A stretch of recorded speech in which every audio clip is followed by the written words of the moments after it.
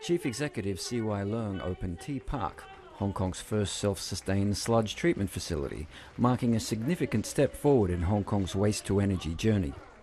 Speaking at the opening ceremony, Mr. Leung called on the public to support environmental protection. Secretary for the Environment K.S. Wong said the T in T Park stands for transformation, signifying the government's dedication to transforming waste into energy. Located in Tsang Tsui, Tuen Mun, with a site area of 70,000 square metres, T Park is one of the most technologically advanced facilities of its kind in the world.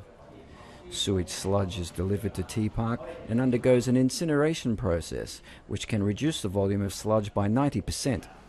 It can treat up to 2,000 tonnes of sludge per day.